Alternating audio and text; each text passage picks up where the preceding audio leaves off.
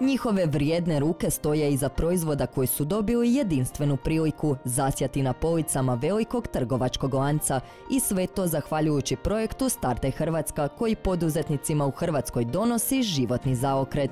Doista nije tajna koliko volim ovaj projekt, zato što je to projekt gdje ti stvarno sudjeluješ od nekog početka do punog formiranog, e, prekrasnog, ono, produktivnog obrtnika koji je proizveo nešto, koji je to plasirao na police i taj proizvod se prodaje. Znači ti doslovce e, u nečijem snu. Mija ističe kako ovaj projekt ponajviše karakterizira zajedništvo.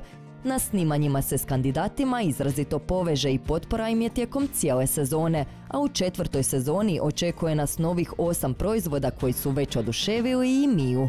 Ove sezone nas očekuju proizvodi gdje ćete ispasti kao vrhunski šef, moći ćete sve dobro servirati svojim prijateljima i oni će reći onako, wow, otkud si to naučila?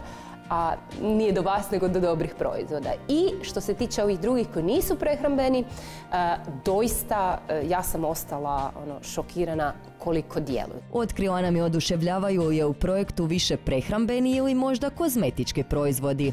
Pa ja sam uvijek za e, prehrambene, ali e, e, to je mrtva trka. Zapravo je kozmetika, pogotovo kakvu je naši poduzetnici rade i plasiraju, to su stvarno ono najbolji sastojci i prirodno, a opet hrana, znaš da isto najbolji sastojci prirodno i hoćeš jest. Tako da, meni, ja sam nekako ono vjerni fan Starte Hrvatska, jer ja, ono, kad krenem sa tim proizvodima, ja sam vjerna do kraja. Ja ih kupujem, ja ih promoviram, ja svima svojima govorim i ove sezone pratit ćemo s kakvim su se izazovima u koštac uhvatili kandidati, od dobre ideje, proizvodnje te na posljedku isporuke količina koje su od njih naručene.